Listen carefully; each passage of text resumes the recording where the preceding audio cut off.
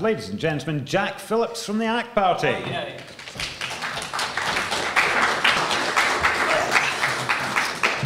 Hello, Jack. Kia ora. I Nice- don't believe we've met before. No, but it's the first time for everything. There is indeed.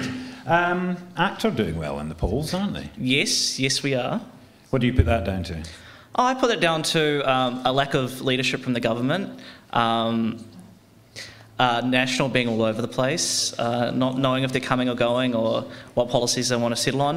Um, and I also think it's because New Zealanders haven't had enough, particularly in the rural sector. I, you know, I grew up rurally, um, and times are really, really tough out in the countryside, like um, unbelievably tough. And I mean, part of that's attributed to the RMA um, making any projects on on land a ridiculous and arduous, if not impossible, task. Um, and then the other thing is the mental health crisis that is plaguing the country. Um, COVID has added to that, um, but it's it's part of the reason why I'm running. Um, I've had first-hand negative experiences with the current mental health system, uh, and I believe that ACT and individual uh, driving of, of care and choice is, is the way to go forward. Uh, and also uh, hashtag mental health awareness. Uh, It is Mental Health Awareness Week as well. Um, you, you, so you think the, the, res, the response in the polls is, is due to the other parties not being uh, as, as effective as they could be, as opposed to ACT's apparent alignment with fringe issues and, and, and for example, gun lobbyists? I don't think they're fringe at all. I think most New Zealanders uh, like the way the laws were back when we had the, the strongest and uh, best gun laws in the world. Um, you know, a, a crazy person that comes from overseas and the police fail their already mandated checks and he gets a hold of a lot of weapons. Um, not just guns, by the way, he had access to a vehicle, potentially explosives. So when someone uh, with an agenda comes to do a crazy act uh, and you blame uh, thousands and thousands of everyday New Zealanders who are equally horrified at uh, the disgusting um, actions of this, this, this madman, um, yeah, I think everyday New Zealanders have had enough. Do you believe that some of the candidate uh, views and thus party views uh, of the ACT Party align with the likes of ACT on campus or wider New Zealand? Oh, good. Act on campus. I was waiting for this to come up. See, um, okay. So I, I myself have been involved in, in Act on campus. Um, I have a club at Massey that is currently on hiatus.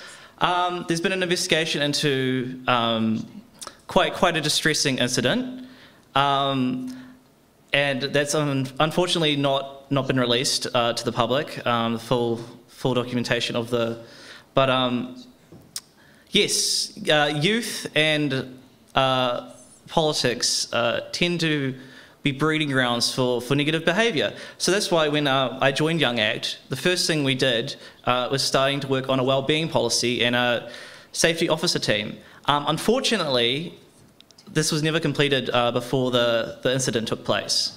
Um, and that's all I'm at liberty to say about this. I, I, to be honest, I wasn't aware of any incident. Oh, I was okay, simply asking if That's the okay. views aligned with younger ACT supporters Yes. and wider New Zealand. Yes, they do.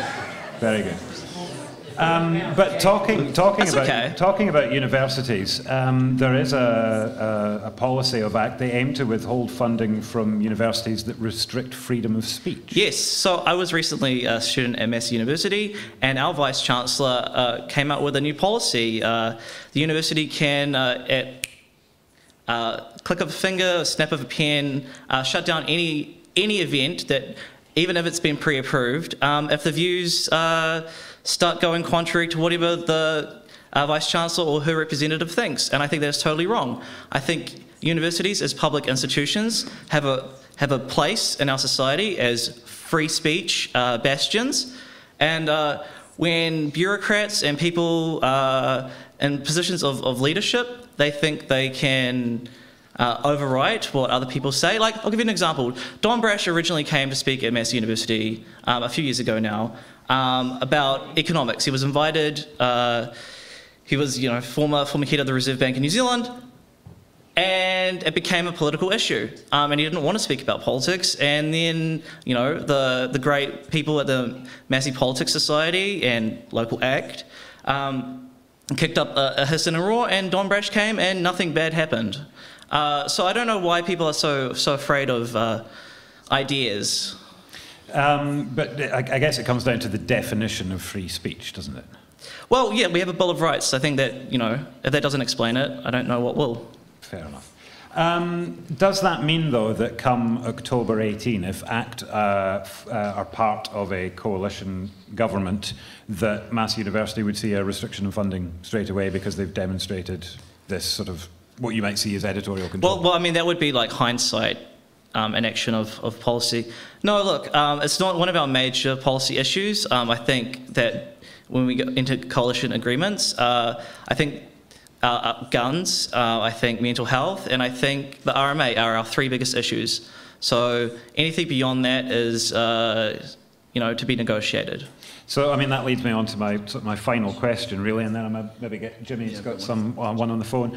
Um, what will ACT do for Palmerston North if they manage to hold sway in a coalition government or even be a stronger voice in opposition? So for Palmy, um, regulations have really, really, really stifled the housing industry. I know it's atrocious everywhere in New Zealand, um, except Christchurch. I was reading an article um, in Stuff today about how um, through earthquake exemptions and stuff, um, they don't actually use, have to use the RMA at the moment.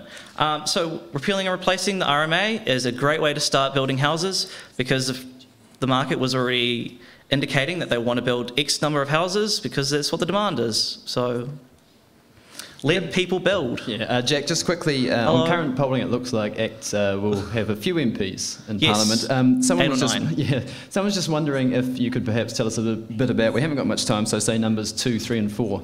Okay, uh, Deputy Leader Brooke Van Velden, fantastic. She wrote the End of Life Choice Act. Um, I hugely respect her. Uh, she is extremely competent um, around mental health policy, and you know that's all you really need to know about her. She's a fantastic, fantastic leader um, and policy writer. Uh, Whew. Can I talk about my favourite person, Mark Cameron, um, our rural spokesperson?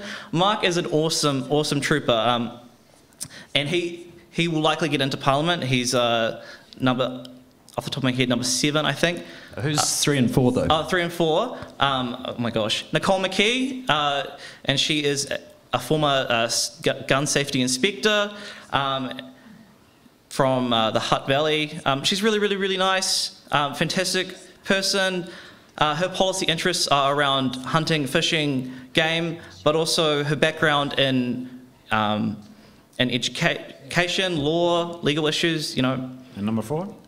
Number four, Chris Bailey. Um, he wants to bring back charter schools, uh, and he's an educator and a small business owner himself. So, Marvellous. Uh, just into the quick fire. Uh, do you support the cannabis legalisation and control? yes, Do you support end of life choice? yes. And can you demonstrate any te reo or sign? Uh, called Jack Tuckle Ingwa. Uh, beyond that, no. I'm unfortunately, it's. Uh, I was supposed to be learning it this year, but uh, COVID ruined my my Māori experience. Ladies and gentlemen, Jack Phillips. Thank you for having me.